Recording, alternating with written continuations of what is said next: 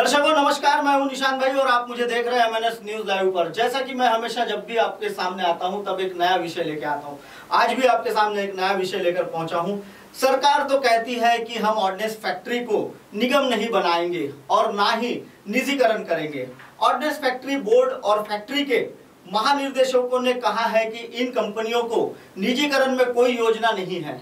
लेकिन इसके बावजूद पूरे देश में आज 41 आयुर् निर्माण फैक्ट्रियों में हड़ताल शुरू हो गई है।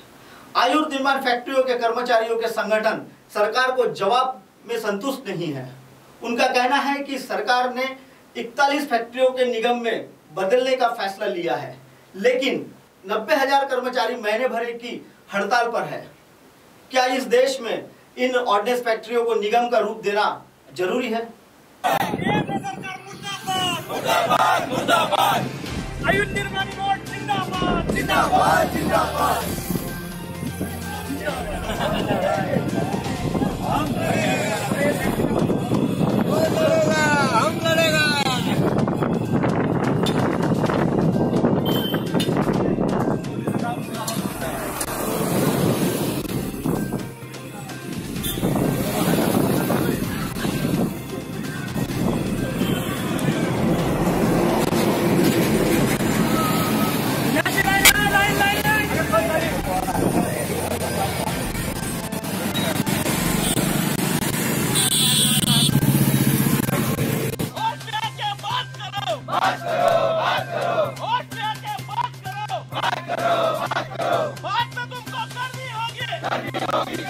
होगी। करनी करनी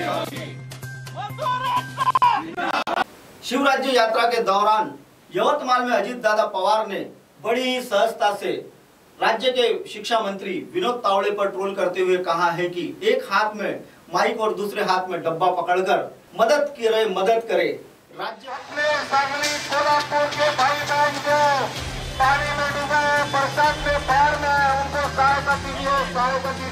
सहायता कीजिए मदत करा मदत करा मदत करा.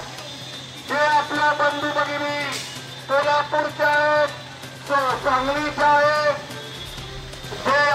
करे, राज्य को चलाने वाले ही इस तरह से अगर आम जनता के बीच में जाकर राज्य में आने वाली बाढ़ पीड़ितों के लिए जनता से ही पैसे मांगते हैं तो क्या जनता एक और सरकारी टैक्स के बोझ तले दबी है और दूसरी ओर बाढ़ पीड़ितों के लिए सहायता मांगी जा रही है। बाढ़ पीड़ितों के लिए जनता से ही पैसे मांगे जा रहे हैं। तो क्या जनता एक और सरकारी टैक्स के बोझ तले दबी है? और दूसरी ओर, बाढ़ पीड़ितों को सहायता के लिए फिर जनता के बीच में जाकर ही मदद मांगी जा रही है। अजित पवार ने फडणवीस सरकार पर भी निशाना साधा है। कहा है कि राज्य में गुनेगारों की संख्या बड़ी है। इसका हर्जाना युवती को और महिलाओं को भुगतना पड़ रहा है, जिसमें महिला अत्याचारों की घटनाएँ राज्य में बड़े पैमाने पर बढ़ चुकी है। फ़िलहाल राज्य सरकार कर्ज के बोझ तले दब चुकी है। सरकार के पास पैसा नहीं है। तिवरा गाँव में बाँध टूटता है और इनके मंत्री खेकड़ों पर आरोप लगाते हैं। बाँध कितना बड़ा होता है और खेकड़ा कितना सा होता है, झूठ बोलने की कोई सीमा होती है होती है कि नहीं? साथ ही राज्य की सरकार और राज्य के मंत्री झूठ पर झूठ बोले जा रहे हैं। इसकी कोई तय सीमा होनी निश्चित है, ऐसा आरोप अजीत दादा ने अपने इस यात्रा के दौरान लगाया। दर्शकों, फ़िलहाल वक्त हो चला है एक ब्रेक का। ब्रेक से लौटने के बाद देखेंगे देश और दुनिया की तमाम खबरें। बने रही रहिए एमएनएस न्यूज़ के साथ।